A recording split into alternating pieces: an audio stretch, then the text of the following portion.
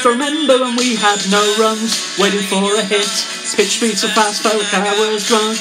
Local hero up to bat, looks the piece in green and gold.